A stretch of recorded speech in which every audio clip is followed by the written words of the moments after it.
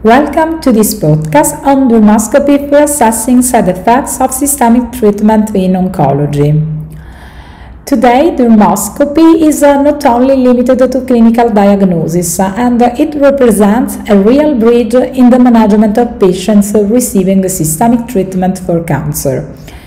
Patients treated with either classical chemotherapy, with immunotherapy, or with new targeted therapies have an increased risk of developing skin reactions.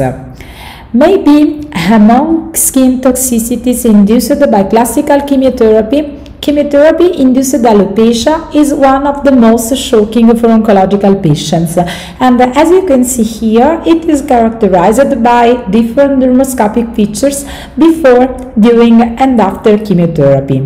In particular we have that black dots broken hairs, exclamation marks, and flame hairs are common at the beginning of chemotherapy as direct signs of cytotoxic and antiproliferating effects of the drugs. Pohl-Pinkus constrictions are visible all along the treatment phase, while we have that black and white hair, circle hair, and vellus hair are observed during prolonged or post-chemotherapy phase as expression of thin regrowing anagen hair.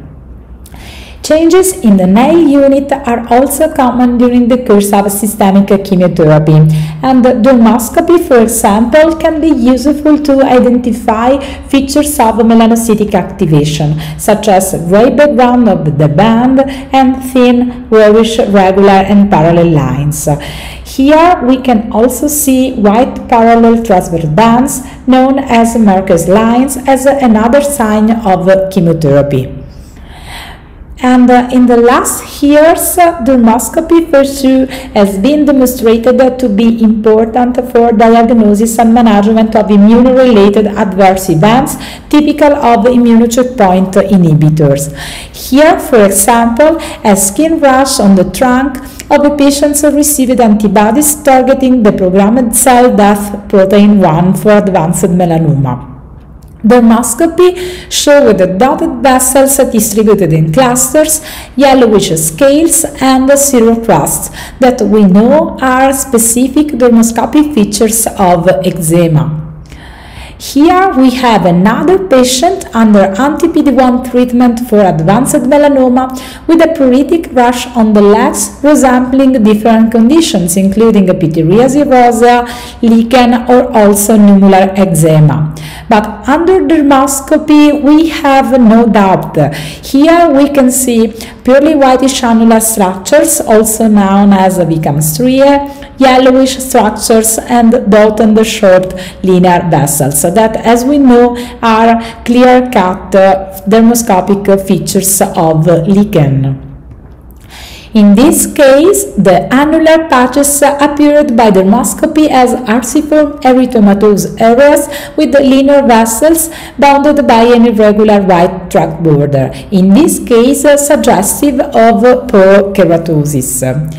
Here we have another patient with a skin rash dermoscopically characterized by short linear vessels and orange patches that uh, uh, in this case are two early signs of uh, mycosis fungoides that uh, was described by some authors in patients received immunotherapy. Pigmentary disorders are another common cutaneous immune-related adverse effects, in particular in melanoma patients treated with checkpoint inhibitors.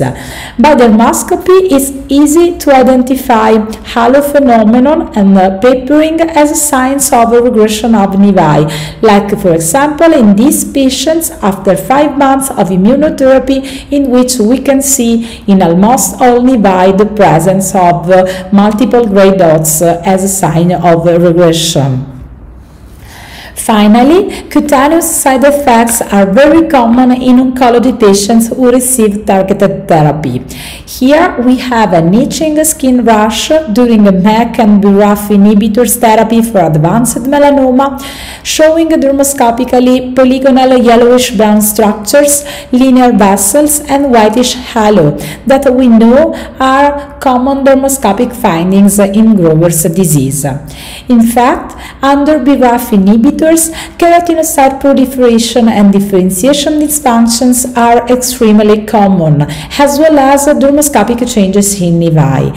Here, for example, we have a female patients under MEKi and BRAFi treatment for advanced melanoma, in which we have together Grover disease, keratoacanthoma, and also dermoscopic changes in nevi. And uh, uh, this last aspect can be explained considering that nevi carrying and activating BRAF mutation can be also targeted by BRAF inhibitors.